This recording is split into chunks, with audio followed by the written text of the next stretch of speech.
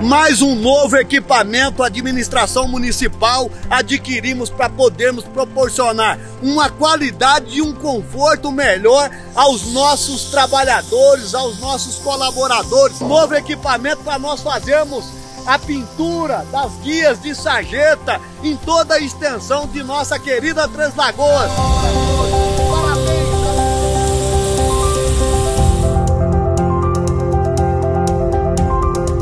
Antes era serviço realizado por 5, 6 pessoas, até 10, dependendo ah, o tamanho do serviço. Hoje nós estamos fazendo com três colaboradores. O trator foi adquirido com emenda parlamentar do ex-senador Moca.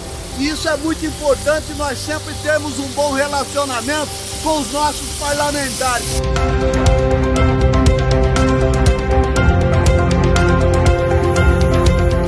Obrigado a você aí que sempre está nos acompanhando através dos nossos vídeos e compartilhando o mesmo para poder ter maior alcance. Beijo no coração de todos vocês e um tchê tchê tchê e tchau, obrigado!